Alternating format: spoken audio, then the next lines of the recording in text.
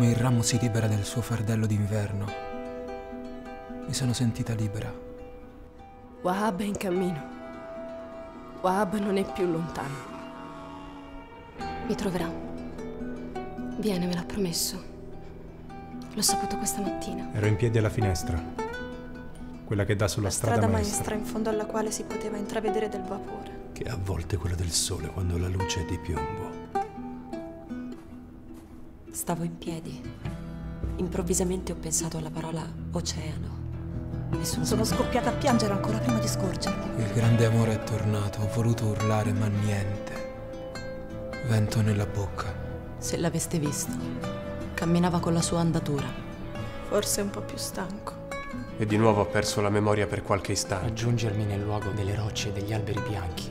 Wahab, ho voluto gridare. Wahab! Ma ancora ho visto la parola oceano. Esplodere. E lì l'ho riconosciuto. E lì l'ho rivisto. Lui. Lui è tornato per vedere me. Me. Era davanti a me, in mezzo alla grande stanza. Proprio qui.